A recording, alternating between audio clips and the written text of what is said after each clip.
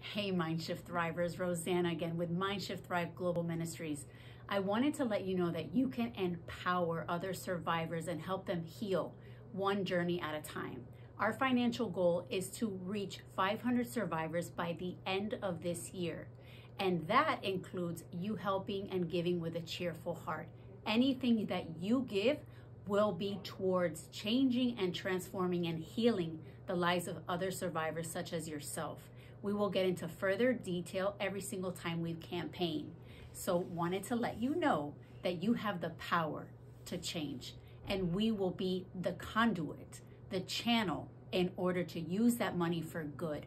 You will see where the monies are going. You will have proof and accountability. We are in it for the long haul and we are changing lives and we can only do it with your help.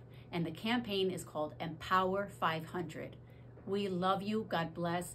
Don't forget to give anything, anything at all is going to help change the lives of women such as yourself. And it could even be you.